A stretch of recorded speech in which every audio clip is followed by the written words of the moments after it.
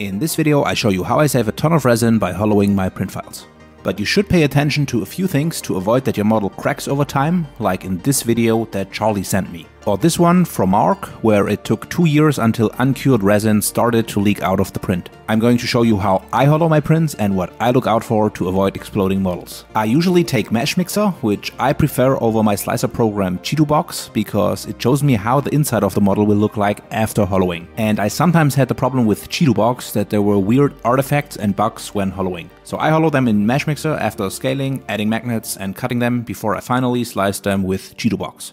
When I started resin printing, I chose a 3mm wall thickness, but nowadays I usually do something between 1.6 and 2mm, depending on which thickness creates a nicer wall. If I, for example, wouldn't want the fingers to have resin in them, I would increase the wall thickness until the fingers are solid. So you go to Edit in Meshmixer and then Hollow. Then you select the offset distance, which will determine your wall thickness. If you are satisfied with the result, click Accept and then the model is hollowed which you can see here. If I create a plane cut through the model, you can see the wall in green and the orange part is your void that has been cut out of the model. With resin printing, you need to especially look out for possible pockets that will trap uncured resin inside your printed model. The off-gassing of this uncured resin inside a printed model can eventually crack your print. And you really don't want uncured resin flowing over your model that you have spent hours on post-processing and painting.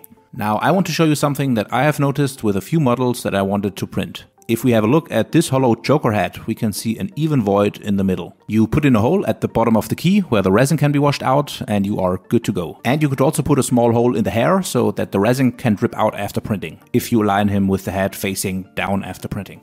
If we have a look at this Hulk head, we can see that the area around the mouth looks a bit odd. We hollow it out anyway and then cut the head in half. If you want to know how to cut, check out my previous video, link in the info box. Here we can see two potential issues. One is in the mouth. So the modeler has gone an extra step to model the mouth, although it's not visible. There is a tiny gap between the teeth, but you will have a hard time washing that out, and the UV light will also have a problem to reach all the way into the mouth. So you need to make sure to put a hole into the mouth, in the inside of the head, to ensure that the resin can be washed out properly. Second issue is where the key is.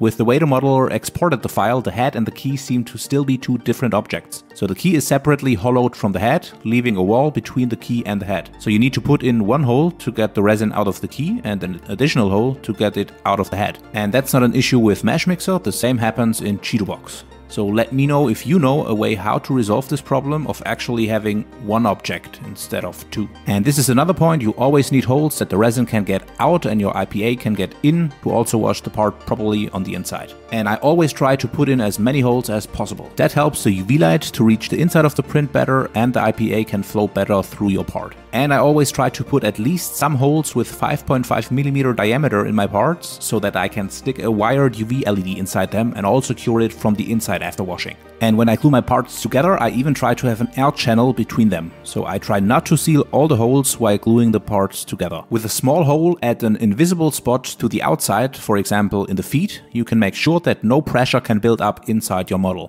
Which shouldn't happen anyway if you washed and cured your print properly, but better safe than sorry.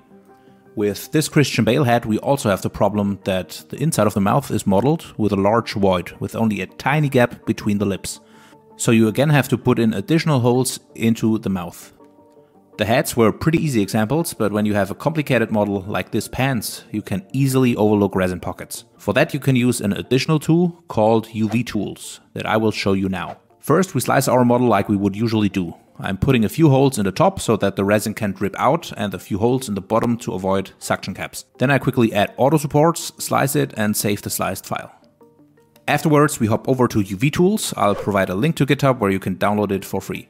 Then we open the file and click on the Issues icon. This is not going to be a UVTools tutorial, I just want to make you aware that it exists in case you haven't heard of it.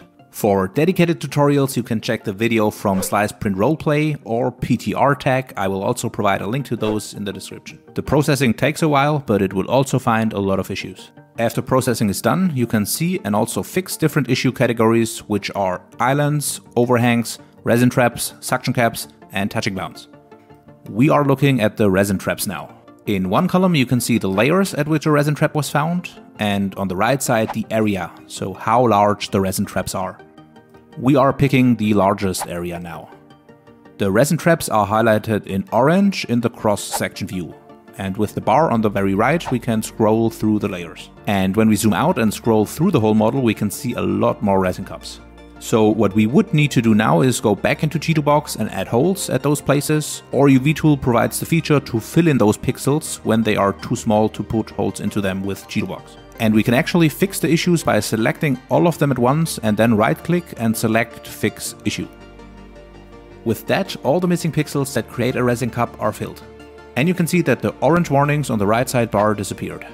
You can also manually select individual pixels for each layer and fix them by hand. So again, make sure to not only add holes on the outside of the prints, but also on the inside when you encounter something like this. And the last example that I noticed on an Iron Man torso print was this weird spot where the color looked different, and I thought there could be uncured resin trapped in a pocket. So I went back to my computer and checked the print file in Chitubox. And then I saw that there really is a second wall in the model, and I was not sure if this tiny gap was enough to let the resin out. So I thought let's check it by drilling two holes into the spot. Which I could have saved myself if I had checked it with UVTools first. And now I have two holes to fill, which brings us to what I will show you in the next video, post-processing the prints. So if you don't want to miss it, make sure to activate the notifications by ringing the bell.